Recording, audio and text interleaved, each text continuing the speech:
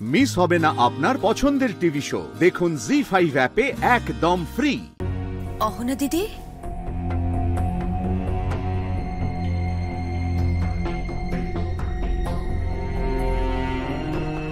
এ কি অহনা দিদি? আপনি কাঁদছিলেন? না না ঝিলমিল আসলে একা একা শুয়ে থাকলে হাজারটা চিন্তা মাথায় আসে। বুঝেছি। নিন একটু জলটা খান। থ্যাংক ইউ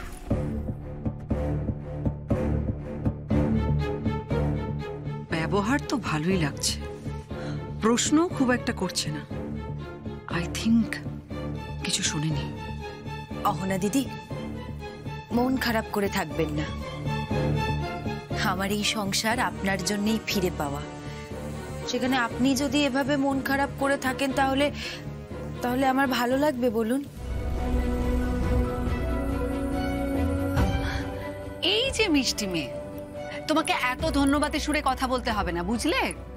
যারা ভালো তাদের সাথে ভালোই হয়। আরে তোমার মতো মেয়ে দুনিয়াতে পাওয়া যায় না। অনেক হয়েছে দিন এবার।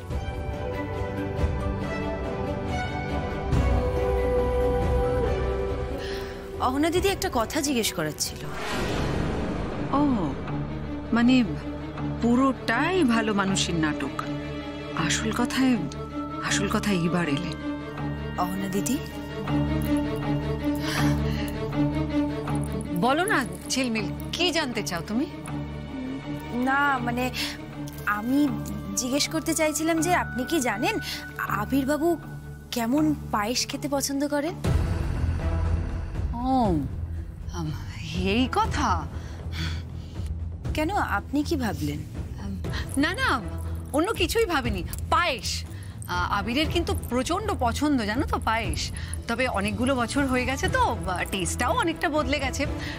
ঝিলমিল আমি তোমাকে আমি কীভাবে পায়েস বানাতাম সেটা তোমাকে বলতে পারি। হ্যাঁ আমি তো সেটাই জানতে চাইছি। হ্যাঁ ওই একটু নরম হবে মিষ্টিটা কম হবে হুম? আর নামাবার আগে একটু কেশর দিতে হবে। হোপফুলি আবিরের এখনও ভালো লাগবে। কেন? তুমি কি বানাতে চাও? আসলে মা বলছিল আমাকে কিছু একটা বানাতে। তাই আমি ভাবছিলাম কি বানানো যায়। চলুন না যদি আপনি আমাকে রান্নাঘরে একটু সাহায্য করেন খুব ভালো হয় দিদি। এক্ষুনি? হ্যাঁ। ও মা দেরি করে কি লাভ? চলুন চলুন আমরা বানিয়ে ফেলি আসুন। হ্যাঁ তাই চলো। আমিও একটু মনে করে নিতে পারব। আচ্ছা ঝিলমিল ফ্রিজে দুধ আছে তো? হ্যাঁ হ্যাঁ ফ্রিজে সব আছে। আচ্ছা, চলো। এসো এসো।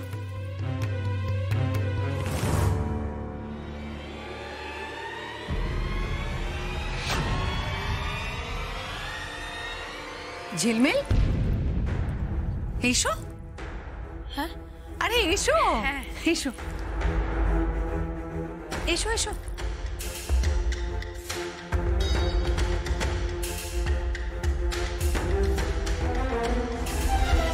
একটা জিনিস দেখলি মেজো? ঝিলমিল কতটা চালু? চলে যাচ্ছিল চলে যাচ্ছিল, আবার চিঠি লিখে যাচ্ছিল। জহি রাধা, আর শিকন্ডি করল কাকে? আমার মেয়েটাকে।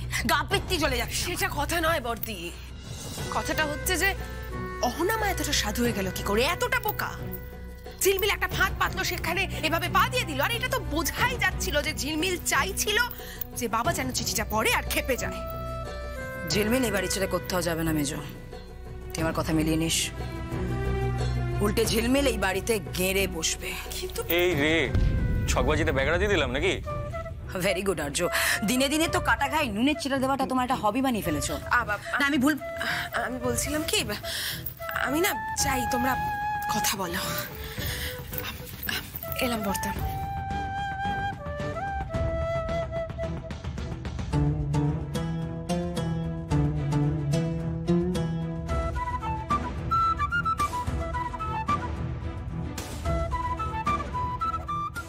যাই স্নান করে আসি। তুমি তো আর পাপ ধোবে না? তোমার হয়ে অন্তত আমি ধুয়ে আসি। শোনো আর্য। নিজের ভালো বোঝাটা যদি পাপের হয়ে থাকে না তাহলে সারা জীবন আমি এরকম পাপি হয়ে থাকতে চাই। শুধু তুমি বলছো কেন? মেজ বউকে তো দলে ভিড়িয়েছো। সারা দিন শুধু মৌনিমার নামে পুটকচালি শোনো মুখ সামলে কথা বলার জো গলা নামিয়ে শিবানী লজ্জা করে না? সবার বুক থেকে পাথর নামলো আর তোমাদের স্বস্তি হচ্ছে না। করো যত খুশি ছক করো। তবু মনিমার ক্ষতি করতে পারবে না। তোমাদের ক্ষমতায় কুলাবে না। আচ্ছা প্লিজ আমার কথা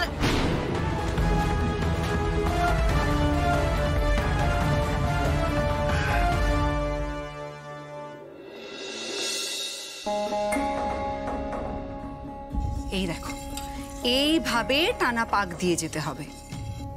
বাবা পায়েস বানাতে অনেক খাটনি না? ওরে বাবা ছেড়ে দিলেই কিন্তু তলাটা ধরে যাবে। আচ্ছা আপনি কার থেকে পায়েস বানানো শিখেছেন অহনা দিদি? মোস্টলি আমি নিজেই তবে মাও কিন্তু আমাকে একটু হেল্প করেছিল। হ্যাঁ মায়েরও রান্নার হাত কিন্তু দারুণ।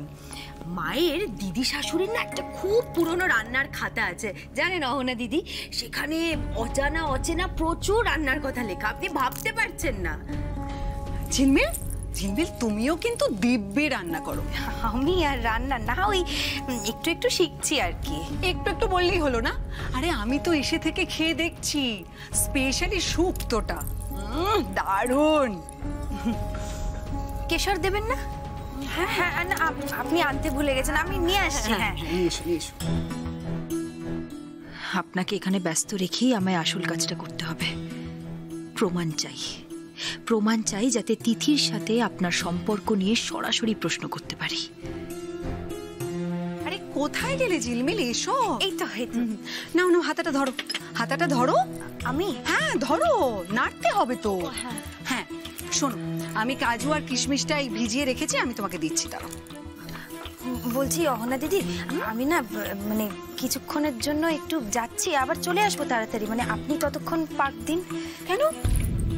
তুমি কোথায় যাবে? আমি বাথরুম যাব। যাও যাও।